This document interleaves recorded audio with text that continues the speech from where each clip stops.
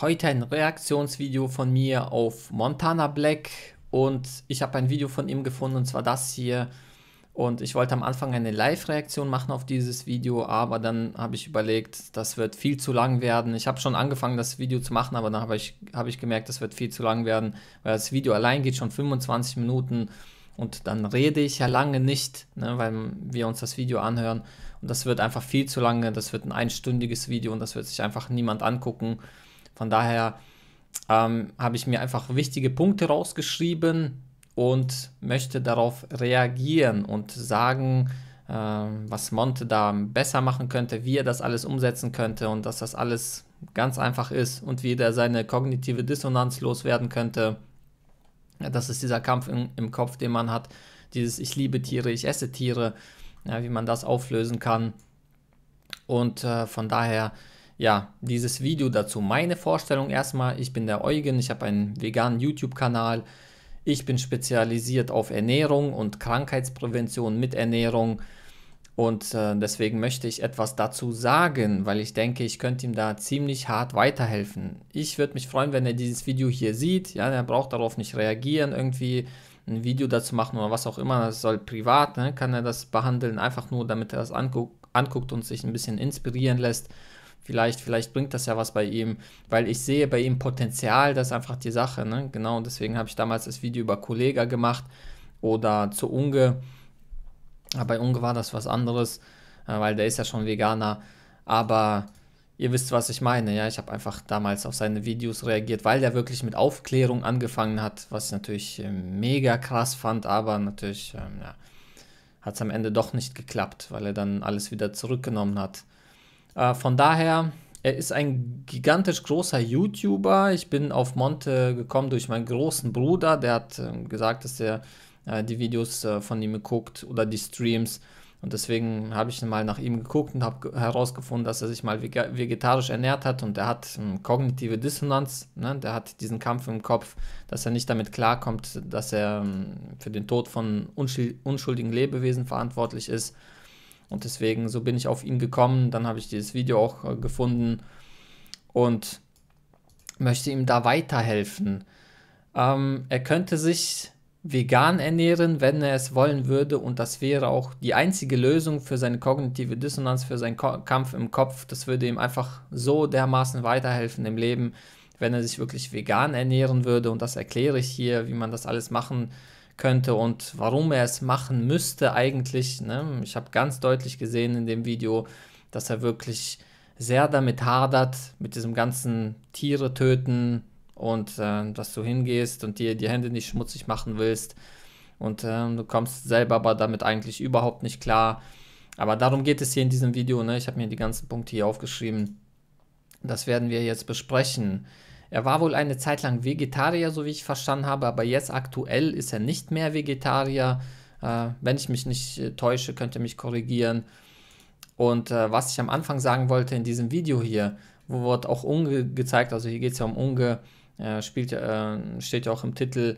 Und da sagt Unge halt etwas, ne, was, ähm, ja, was ich einfach nur katastrophal finde. Er hat halt diese Einstellung wie Rezo, das wusste ich gar nicht dass der Unge hingeht und sagt, ja, jeder kann ja machen, was er will. So, ne? Ja, die essen Fleisch, jeder kann ja machen, was er will. Hände in den Schoß legen. Ne? Ganz genau dieselbe Einstellung hat ja Rezo. Ja, beide mit gigantisch großer Abozahl, ja, im siebenstelligen Bereich. Und äh, dazu habe ich so ein Bild, es gibt so ein gutes Bild dazu, und zwar das hier, ja, für den Triumph des Bösen Reichs, das wenn die Guten nichts tun. Und das ist ganz genau der Punkt, den ich so übel nehme, dem Unge und dem Rezo. Der Rezo hat ja auch mal gesagt, ja, ja, dass er das, ähm, dass jeder Mensch selbst drauf kommen soll, deswegen mischt er sich da nicht ein, deswegen promotet er Veganismus nicht, ne? Absolut unbegreiflich, wirklich ne, so eine Reichweite haben und äh, die nicht zu nutzen und zu sagen, oh ja, jeder kann machen, was er will. Nein, nicht jeder kann machen, was er will, jeder kann machen, was er will, solange er niemandem schadet. Das ist der Punkt. Ne? Man muss Menschen helfen. Darum geht es. Vor allem, wenn man Reichweite hat. Man muss den Menschen die Hand reichen und sagen, komm, ich helfe dir. Das, was du machst, ist nicht richtig. Und ich erkläre dir, warum das so ist. Na?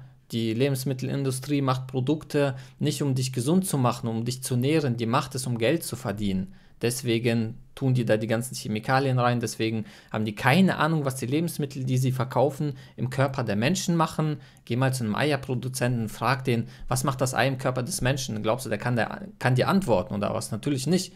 Der hat keine Ahnung davon. Der verkauft dir einfach nur, weil er Geld machen will. Ja, die Lebensmittelindustrie will nichts Gutes für dich. Sie will nur Geld verdienen. So läuft das System nun mal. Und von daher muss man den Menschen darauf aufmerksam machen und, und ihnen helfen dabei ne, und das zu verstehen. Zu verstehen, das solltest du essen, das solltest du nicht essen. Okay, deswegen die Lebensmittelindustrie schert sich nicht um die Gesundheit der Menschen, sie schert sich also allgemein nicht um die Menschen, sie schert sich nicht um die Tiere, die sind denen völlig egal. Ne? Die machen da irgendwelche, oh, damit es schneller geht, hier mit den Chick McNuggets machen wir so ein Laufband und am Ende steht so ein Mixer ne? und dann legen die die Küken da drauf und dann werden die geschreddert, die Küken. Ne? Das ist denen völlig egal, dass Tiere dabei sterben, dass Menschen sterben. Die Menschen sterben dann an den Krankheiten, die sie von den Tierprodukten kriegen. Von daher, nun, das muss man den Menschen sagen. Man muss die Menschen aufklären und nicht die Hände in den Schoß legen, so wie Ungo und Rezo. Eine absolute Katastrophe. Katastropheneinstellung, sowas einfach. Ne, und finde ich auch mega egoistisch, sowas. Ne? Einfach sagen, ah, mir geht's gut, ich mache alles richtig, aber ich erzähle das niemandem. Ne? Ich, äh, ich werde nicht aufklären, ich werde den Menschen nicht helfen. Ne? Also ziemlich, ziemlich üble Einstellung. Und dann kommen wir jetzt zu Monte. Monte sagt, er könnte keine Tiere schlachten, er findet es feige, jetzt äh, Tierprodukte zu kaufen, obwohl man das selbst niemals machen könnte, ja, das Tier selber schlachten und die äh, Nahrung selbst gewinnen, ja, könnte er nicht machen und das findet er feige und deswegen, ne, das nennt man kognitive Dissonanz, dieser Kampf im Kopf und äh, von daher ja, wollte er Veganismus ausprobieren, ne, was er dann auch hat. Das Video ist ja schon ein paar Monate alt. Und auf jeden Fall, oder der war, der hat auch im Video gesagt, dass er mal Vegetarier schon war vorher.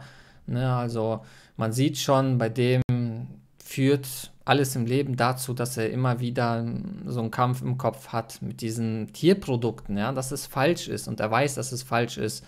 Ne, ich sehe da viel Potenzial bei ihm, aber der muss das natürlich durchsetzen und halt im Kern verstehen, warum er es macht.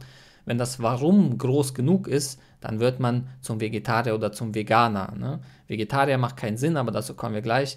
Ne? Das Warum muss groß genug sein. Es ist egal, was du im Leben machst. Du willst ein Auto haben, zum Beispiel. Ne? Und dann, wenn dein äh, Warum groß genug ist, warum du es haben willst, wirst du alles andere äh, machen dafür, damit du dir den, den, Wagen leisten kannst, zum Beispiel. Ja? Oder du willst erfolgreich sein im Job oder du willst diese Frau haben. Ne? Du machst entsprechend so viel dafür, wie groß dein Warum ist. Je größer dein Warum, umso mehr tust du dafür. Ja, und wenn sein Warum groß genug ist, warum er sich vegetarisch oder vegan ernähren will oder sollte, dann wird er das auch machen, aber sein Warum ist halt nicht groß genug. Ähm, er sagt, er will nur auf Fleisch verzichten und nicht auf alle Tierprodukte, sagt er explizit. Und das macht natürlich absolut keinen Sinn. Das ist halt der Punkt. Äh, Vegetarier, ich habe hier so ein Video, kann ich euch äh, auch unten verlinken. Ich bin Vegetarier für die Tiere. Das ist so eine Sache, die man verstehen muss, die so elementar wichtig ist, die einfach überhaupt keinen Sinn ergibt. Ja, als Vegetarier machst du mehr Tierleid als ein äh, Fleischesser. Das liegt daran, dass ähm, wenn du äh, das kategorisieren würdest nach äh, Schaden, Schaden am Tier, zum Beispiel du vergibst Punkte, ja, du trittst ein Tier Schaden 1, du stichst mit einem Messer, ist Schaden 2, so, ne? Verstehst du? Nach so einem System, dann stellst du fest, dass äh, der größte Schaden an Tieren äh, in der Milchindustrie gemacht wird. Also vegetarische Produkte, ne? Milchprodukte. Das ist, was die Vegetarier essen.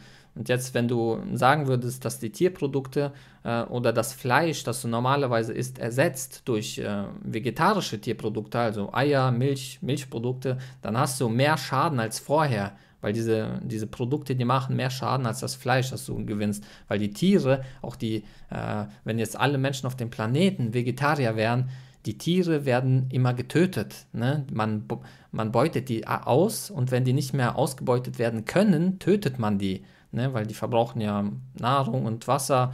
Und man muss sie töten, wenn sie nicht nichts mehr hergeben. Wenn du eine Kuh äh, vergewaltigt hast und geschändet hast und die Milch aus ihr immer gewinnst und ihr Kind immer weiter tötest ihr Leben lang ne, und irgendwann gibt sie keine Milch mehr, tötest du sie. weil sie ist für dich nutzlos. So, ne? Deswegen, Vegetarismus macht null Sinn. Ja? Es macht einfach null Sinn. Ich nenne Vegetarismus auch die Heuchlerernährung. Ja? Das ist so eine Heuchlerernährungsform, weil man so tut, als würde man irgendwas für die Tiere empfinden, würde man etwas Gutes für die Tiere tun. Und das tut man nun mal nicht. Ich habe viele Videos über Vegetarier gemacht. Und das ist mein allerbestes. Deswegen zeige ich das hier. Ich bin Vegetarier für die Tiere. Und das ist einfach, ne, man sieht schon auf dem Bild, ja, das ganze Tierleid, das Vegetarier verursachen. Ne? Und ich habe hier auch so ein schönes Bild, wer das hier zum Beispiel nicht kennt, hier Vegetarier, ne, Milchindustrie, könnt ihr euch mal angucken, durchlesen. Und das ist einfach hier vor allem das letzte Bild rechts unten. Und äh, ne, könnt ihr euch mal angucken. Und deswegen äh, ist das so, dass Vegetarismus nun mal, ne, machst mehr Tierleid als vorher. Und deswegen ist Vegetarismus auch nicht die Lösung. Aber das weiß man auch, wenn man so ein bisschen ehrlich zu sich selber ist ne, und mal ganz genau überlegt, ah ja, warte mal, aber diese ganzen anderen Tierprodukte, Eier genauso, ne, unendliches Tierleid, aber das größte Tierleid Milchindustrie, wow, das ist ja, ne, davon ernährt sich ein Vegetarier zum Großteil. Äh, das willst du nicht machen. Wenn du sagst, du willst Tiere schützen, dann musst du Veganer werden. Das ist ganz genau die Ernährungsform, die hingeht und die Tiere rausnimmt aus der Ernährung. Ja, die haben nichts mit, den, mit der Ernährung des Menschen zu tun. Und das stellst du auch fest, wenn du dich mal äh, mit der Wissenschaft beschäftigst, zum Beispiel mit äh, den gesundheitlichen Auswirkungen. Ja, dann stellst du zum Beispiel fest, äh, hier links sieht man zum Beispiel, aus was Tierprodukte bestehen, rechts sieht man, aus was Pflanzen bestehen. Da siehst du, die haben nichts gemeinsam. Und links ist das alles, was Krankheiten auslöst. Deswegen liest du immer von irgendwelchen Krebs durch Fleisch und so. Ne? Milch ungesund, verursacht Allergien, Parkinson und so weiter. Woher kommt das? Das kommt, weil sie die Inhaltsstoffe dafür haben, die Tierprodukte. Ja? Alle Tierprodukte bestehen aus dem links. Das Fleisch, das so mega ungesund ist, besteht aus den Sachen, die links stehen. Daraus besteht Fleisch, okay? Und ein Ei oder Milch besteht aus den Sachen, die links stehen. Es besteht auch aus denselben Inhaltsstoffen. Es ist doch genau das gleiche, es sieht noch nur anders aus. Es besteht aus denselben Inhaltsstoffen. Von daher, wenn man das auch mal geschnallt hat, ne, dann merkst du auch, dass das auch keinen Sinn ergibt, ne, gesund, aus gesundheitlicher Sicht. Und äh, wie das, ich das Beispiel gemacht habe mit den, mit den, äh, alle Menschen auf dem Planeten sind Vegetarier, leiden dann Tiere? Ja, ja, dann leiden Tiere, dann sind Milliarden Kühe sind dann da, die jeden Tag geschwängert werden mit einem Metallstab, ne? kannst auch vergewaltigen äh, nennen. Sobald sie ein Kind kriegen, wird das Kind genommen, umgebracht, damit der Mensch die Milch klauen kann. Ne? Und von daher ergibt Vegetarismus null Sinn. Ne? Es ergibt einfach keinen Sinn. Das ist äh, früher hat man Vegetarismus ähm, äh, genannt, eine rein pflanzliche Ernährung. Ne? Dann hatte, äh, hat sich der Begriff gewandelt und dann sind Tierprodukte in den Vegetarismus reingekommen. Dann gab es eine, hat sich äh, ein Teil gelöst davon, das nennt man Veganismus. Ne? Das äh, ergibt überhaupt keinen Sinn, dass Vegetarismus Tierprodukte enthält. Ja, aber so hat sich das entwickelt. Und vor allem von daher, und das hat sich entwickelt und es gibt Vegetarismus deswegen, weil Menschen sich mit Nahrung befriedigen wollen, die brauchen diesen Geschmack, die wollen Eis essen im Sommer, ja, ihre Milch, Eis und ihre Pizza mit Käse drauf, ja, darauf können die nicht verzichten, deswegen haben die das wahrscheinlich eingebaut in den Vegetarismus, was natürlich null Sinn macht, weil du damit unendliches Tierleid förderst. Äh, so, und dann der nächste Punkt, äh, er liebt Tiere mehr als Menschen, sagt er. Ja, das hört man auch ab und zu, aber sehr, sehr selten eigentlich. Er kann sich keine Videos über Massentierhaltung anschauen. Also da siehst du, er ist äh, natürlich der geborene Veganer, genau wie alle Menschen. Der Mensch ist ein Pflanzenfresser, wenn du dich mal damit beschäftigst. Da ne, habe ich auch mehrere Videos sehr zu empfehlen. Werde ich alle natürlich unten verlinken. Ja, dann gehe ich die Physiologie durch. Äh, eins der stärksten Merkmale sind die Zähne. Ne? Alle kommen immer mit diesen Stummeln, die der Mensch hat. Ne? Äh, wenn ich dir diese Stummelzähne, diese scharfen hier wegnehme dann, und dir mal eine reife Karotte gebe, dann wirst du feststellen, oh, die kann ich nur essen mit diesen Zähnen. Ne? Du brauchst diese Zähne für Pflanzen, um Pflanzen. Du musst die Oberfläche brechen. Wie ist Bugs Bunny seine Karotte? So? Nein, da ist die so. Ne? Weil du die Oberfläche brechen musst mit den scharfen Zähnen. Ja, nur mal so als kleiner Hint. Und auf jeden Fall äh, jeder von uns ist Veganer von Natur aus, weil wir hundertprozentige Pflanzenfresser sind. Ähm, er fühlt sich nach solchen Videos wie Massentierhaltung sehr schlecht und würde das Tier am liebsten retten. Und äh, aber ne, er ist nicht in der Lage, das umzusetzen, aus was für immer auch Gründen. Ja, es ist entweder Geschmack, höchstwahrscheinlich ist das Geschmackssinn. Ich kann mir eigentlich keinen wirklichen anderen Grund vorstellen. Und natürlich kann es sein, dass das einfach in seinem Leben einfach zu schwer ist, im Sinne von den ganzen materiellen Sachen, die er hat. Zum Beispiel, er fährt irgendwelche dicken Autos und sowas, ne? und dann ne, kann er da keine Ledersitze benutzen und sowas, ne? Aber das ist auch so eine Sache, die sehe ich ein bisschen anders. Ne? Ich sehe das so, wenn, wenn Monte jetzt äh, Veganer werden würde, muss er nichts wegwerfen, der muss nicht seine Autos verkaufen, weil die Ledersitze haben oder was auch immer. Das muss der alles nicht machen, du musst nichts wegwerfen, weil der Schaden ist schon gemacht. Der Schaden ist ja schon gemacht. Nur natürlich als Veganer gehst du nicht extra hin und kaufst dir eine Lederjacke zum Beispiel. Ne? Aber das, was du schon hast, dann kann, das kannst du auch behalten. Und es gibt alles in veganer Form, ja auch die ganzen Innenausstattungen von Autos und Jacken mit Imitatleder, was auch immer. Es gibt alles in veganer Form. Genau wie es alles zu essen in veganer Form gibt. Ja, in jedem Supermarkt kriegst du mittlerweile hier die Patties, womit du dir Burger machen kannst und vegane Pizzen im Lidl und veganes Eis im Aldi und veganes Eis hast du so und so in jedem Laden. Ja, es gibt, alles gibt es in vegan einfach. Nur man muss einfach wollen. Ne? Das Warum muss stark genug sein. Das ist einfach der wichtigste Punkt. Und ja, man merkt schon, dass es ihm sehr, sehr ans Herz, ans Herz geht mit den Tieren. Er kann solche Dokus nicht gucken und sowas. Klar, weil das auf, aufs Gemüt drückt, ne? weil man weiß, man ist selbst dafür verantwortlich.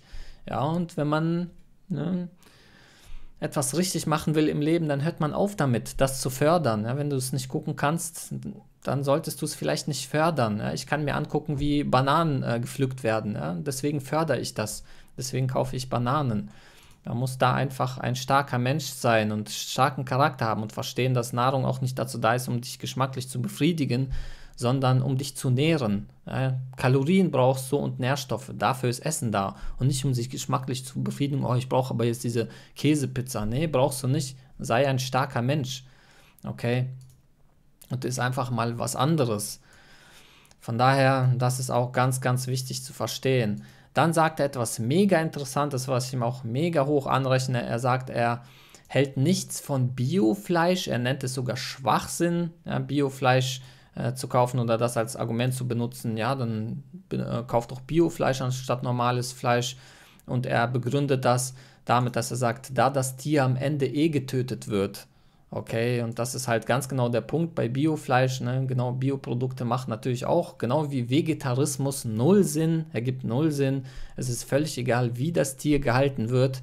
Es wird am Ende getötet. Wie findest du das, wenn man dich irgendwie gut hält und am Ende wird man dich aber töten? Wie findest du das? Na, was für eine Rolle spielt das, wie man dich gehalten hat?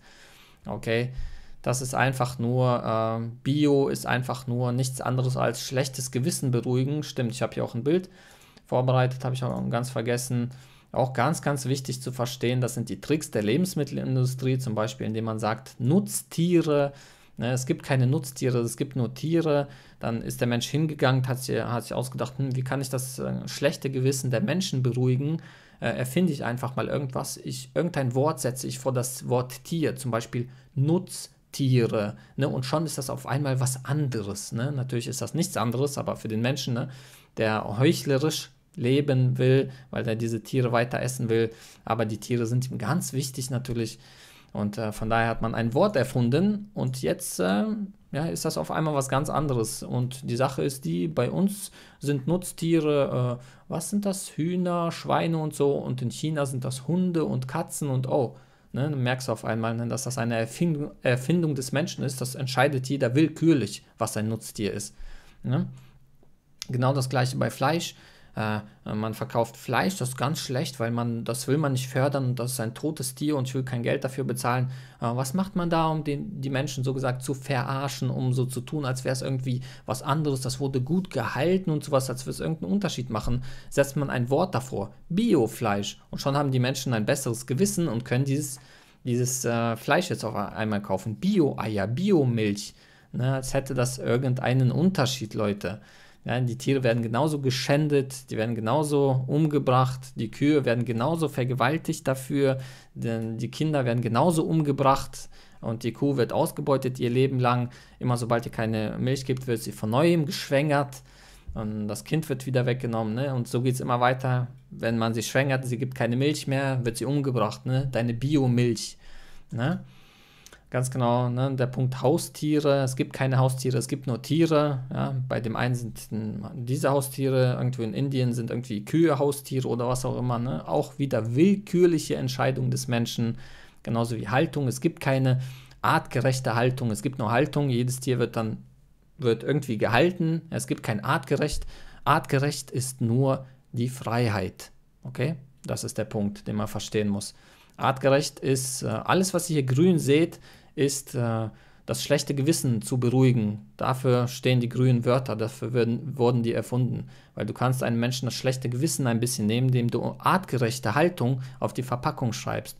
Oh ja, oh, das Tier wurde gut gehalten, auch noch Bio. Oh, das kaufe ich. Ne? So leicht kann man Menschen verarschen, genauso wie humane Schlachtung, das auch so leicht zu erklären. Wie wäre es, wenn man dich human schlachtet? Wie wäre es, wenn man dein Haustier, deine Katze oder dein Hund human schlachtet? Findest du nicht gut?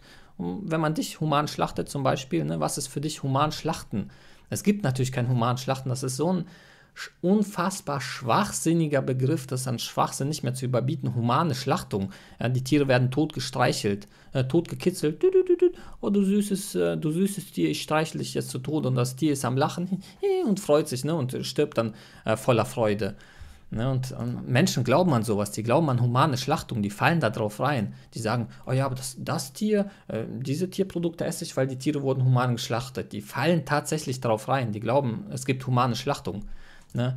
Human, ja, irgendwie, etwas ist menschlich, etwas ist okay, normal, ja, hat man erfunden, damit die Tiere Tierpro äh, damit die Menschen Tierprodukte kaufen. Ne? So einfach kann man die Menschen übers Ohr hauen. Von daher das auch sehr, sehr wichtig zu verstehen. Und Monte hat das erkannt. Ne? Das ist natürlich äh, absolut Hut ab dafür, dass er das erkannt hat, dass das natürlich nichts anderes ist als Heuchelei. Und dann sagt er auch sehr, sehr schön, Tiere werden geboren, um geschlachtet zu werden. Ne? Sagt er ganz genau, und das ist der Punkt. Ja? Bio, nicht Bio, hat, ne, spielt natürlich überhaupt gar keine Rolle. So, er liest dann den Chat, finde ich sehr interessant. Ich kann mal kurz zurückswitchen. Er liest den Chat und ähm, sagt dann, na, das, das steht also im Chat, wenn du aufhörst, Fleisch zu, ess zu essen, ändert das nichts daran, dass Millionen Tiere getötet werden Ne? Darüber hat er sich auch so ein bisschen aufgeregt. Ist natürlich wieder, jetzt kommen so die typischen 0815-Phrasen ne, von den Leuten, die ein schlechtes Gewissen haben. Äh, ja, wenn du aufhörst, Fleisch zu essen, dann ändert das ja nichts, weil die anderen essen ja weiter Fleisch. Well, mit dieser Einstellung äh, wird sich im Leben niemals etwas ändern auf der Welt. Ne? Jede Veränderung auf der Welt beginnt mit einem Menschen. Ja, irgendein Mensch hat sich irgendwann, irgendwann mal gedacht, oh warte mal, die Sklaverei ist falsch. Ne? Und dann hat er mit jemandem darüber gesprochen und so ist das entstanden. Irgendwer dachte mal, okay, das und das ist falsch oder das und das muss geändert werden. Es fängt immer mit einer Person an. Irgendwer musste doch der Erste sein, der die Idee hatte, oder? Deswegen natürlich, wenn du aufhörst, Fleisch zu essen, wirst du die Welt ändern, weil du hörst auf, Fleisch zu essen. Es wird dieses Fleisch, was du normal gekauft hättest, äh, wird nicht wird nicht an dich verkauft, deswegen verkaufen die ein Produkt weniger, deswegen machen die weniger Umsatz, deswegen müssen die weniger produzieren. Ne? Ist zwar infinitesimal klein, aber oder marginal klein, aber du verstehst, äh, ne? dass das schon einen Einfluss hat, wie genau wie ein Tropfen in den Ozean den Wasserspiegel anhebt, aber nur marginal klein. Aber du veränderst natürlich die Welt und dann redest du darüber und äh, es gibt mittlerweile 28 Millionen Veganer, ja, glaubst du, die haben keinen Einfluss? 28 Millionen äh, Menschen, die null Tierprodukte kaufen, glaubst du, das hat keinen Einfluss? Oh, das hat einen verdammt großen Einfluss. Denn deswegen siehst du in allen Supermärkten alles voll mit veganen Produkten. Überall steht vegan drauf. Schon mal aufgefallen? Ja, das liegt ganz, ganz genau daran. Natürlich wirst du alles ändern. Eine Person ändert alles. Ne? Es fängt immer mit einer Person an. Veränderung beginnt immer mit einer Person. So, dann sagt er, er würde Fisch essen, weil er es töten könnte. Es schmeckt ihm aber nicht, deswegen isst er keinen Fisch. Äh, naja, das ist auch so eine Sache. Natürlich ist Fisch genauso ein Lebewesen, das leben will. Genauso darf man auch keinen Fisch töten und niemals vergessen, ne, die Inhaltsstoffe davon ne, sind die, die links stehen. Das sind immer dieselben Inhaltsstoffe, die einen krank machen. Ne? Deswegen ein Pro Tierprodukt ungesund, alle Tierprodukte ungesund. Ne? Man muss einfach ehrlich zu sich selber sein. Von daher, ne, das äh, macht natürlich keinen Sinn. Schreibt, dann schreibt noch einer in den Chat, Biofleisch kann man mit besserem Gewissen essen als Fleisch aus der Massentierhaltung. Und das ist ganz genau, da hat es ja selber gesagt, der, der Typ im Chat, ne, er hat ein schlechtes Gewissen, deswegen kauft er Biofleisch, weil er dann ein nicht so schlechtes Gewissen hat, also ein bisschen besseres Gewissen, aber immer noch ein schlechtes Gewissen, ne, sonst würde er den Kommentar nicht schreiben. Deswegen, ne, wie wäre es, wenn man aufhört, ein schlechtes Gewissen zu haben, also indem man aufhört, Schlechtes zu machen. Wie wäre das als Lösung? Ne? Wo ist das Problem? Ist, du isst einfach kein Fleisch und natürlich auch keine anderen Tierprodukte, weil nur das Sinn ergibt, keine Tierprodukte zu essen. Von daher, äh, ja, immer dieser Punkt ne, mit diesem schlechten Gewissen. Ja, wer kein schlechtes Gewissen haben will, der sollte aufhören, Schlechtes zu machen. So einfach ist das. Ne? Dann schreibt noch einer im Chat, es gibt Unterschiede beim Schlachten äh, und das ist ganz genau, und das haben wir ja schon gerade mit human Schlachten, ne, dass es äh, überhaupt keinen Unterschied macht. Ja? Wie wäre es, wenn man dich human schlachtet? Ja, auch wieder so eine Gewissenserleichterung, indem man mm, Fleisch kauft von Tieren, die irgendwie äh, erstmal betäubt wurden dann getötet wurden. Ne? Das ist alles so eine einzige Farce, das ist unglaublich. Und dann sagt er, er äh, konnte sich früher nicht mal angucken, wie ein Löwe eine Gazelle frisst äh, und ähm, halt, dass er überhaupt nicht damit klargekommen ist, sich sowas anzugucken. Ne, das hat er nicht übers Herz gebracht. Äh, aber daran siehst du halt, dass er halt der geborene Veganer ist, der wirklich auf diesen veganen Weg gehen will, aber irgendwas hält ihn fest. Ich weiß ja nicht genau, was es ist. Äh, deswegen sehr, sehr schwer. Vielleicht sind das die materiellen Dinge, die er irgendwie, vielleicht denkt er, er muss das dann alles wegschmeißen oder sowas, ne, was absoluter Unsinn ist. Und von daher, das waren so die Punkte zu dem Video. Ich denke, ich habe alles abgearbeitet. Ah ja, ich habe noch ganz am Ende natürlich ein sehr, sehr gutes Bild, ein abschließendes Bild, was ich ihm zeigen möchte. Und zwar das hier. Ähm, das bringt es auch so auf den Punkt. Du darfst niemals den ernährungstechnischen Bereich vergessen. Du darfst niemals vergessen, dass äh, man immer wieder hört, Tierprodukte im Zusammenhang mit Krankheiten. Well, das liegt daran, dass sie die Inhaltsstoffe haben und du hast äh, vielleicht schon mal von Studien gehört und sowas, die das zeigen. Und da darfst du einfach eine Sache niemals verkennen, wenn jemand ankommt mit, ah ja, aber es gibt auch Gegenstudien und sowas, da darfst du niemals vergessen, dass ähm, diese Studien gibt es zu Tierprodukten, aber nicht zu pflanzlichen Produkten. Hast du schon mal gelesen, äh, Erdbeeren verursachen Krebs? Nein, du hast mal gelesen, vielleicht Erdbeeren, Erdbeeren verhindern Krebs. Das liegt an den Inhaltsstoffen, ne? weil die haben die Krebshämmer drin die hier, ne, Antikarzinogen zum Beispiel. Tierische Produkte haben Karzinogene, deswegen kriegt man Krebs davon. Und von daher, das Bild hier ist einfach so gut, das bringt es einfach so dermaßen auf den Punkt. Und ja, das wäre das Allerbeste für, Mont für Monte einfach. Ja, das sollte er machen für sein Gewissen, für sein Leben. Er würde sich so besser fühlen, dieser, diese ganze, dieser ganze Stress im Kopf. Deswegen, ne, immer wenn man Tierprodukte isst und sich denkt, ah ja, ich mache da jetzt wieder was Falsches, well, einfach aufhören, Falsches zu machen. Okay, und vegan werden, das ist alles nicht so schwierig, das, das ist alles mega einfach. Das ist äh, alles, dieser ganze Test, der da drum herum gemacht wird, das ist einfach alles nur ja, einfach nur Panik machen, nichts anderes. Veganismus ist so einfach, du gehst ins Geschäft und kaufst nichts tierisches, sondern Haferflocken, Rosinen, Mandeln, die ganzen Milchsorten, ja, Hafermilch, Mandelmilch, Sojamilch, Reismilch, was auch immer. Ne? Es gibt so viele Sachen und Obst, Gemüse und alles, was du willst. Hirse, Buchweizen, Amaranth, die ganzen Sachen, Nudeln, alles, ne? das ist alles vegan. Und Eis gibt es auch ähm, überall veganes Eis und alles, was du haben willst. Ne? Das ist heutzutage alles gar kein Problem mehr. Auch wenn es ein Problem wäre, muss man es trotzdem machen. Okay, weil man es einfach machen muss, weil du einfach ja, ein guter Mensch sein willst. Du willst Gutes machen. Du willst dieses ganze Leid nicht mehr. Du willst diese kognitive Dissonanz im Kopf nicht mehr haben. Ja, du willst Gutes machen, also mach Gutes. Von daher, Leute, das war das Video. Ich hoffe, es hat euch gefallen. Ähm, das waren meine Ausführungen, die ich äh, ihm ans Herz lege. Ich hoffe, er wird das Video sehen, was natürlich extrem unwahrscheinlich ist, aber well, wer weiß. Von daher, ja, geh den veganen Weg, Monte. Ja, geh den veganen Weg. Wenn du irgendwelche Tipps brauchst oder sowas, ne, komm zu mir, ich werde dir weiterhelfen. Und ähm, das war das Video, Leute. Ich danke euch vielmals fürs Zuschauen. Ich hoffe, es hat euch gefallen. Abonniert meinen Kanal, gebt dem Video einen Daumen hoch, das wäre super nett. Teilt das Video oder schickt es Monte oder sowas, wäre auch mega gut. Und ähm, wir sehen uns im nächsten Video, wie immer. Bleibt dran. Peace.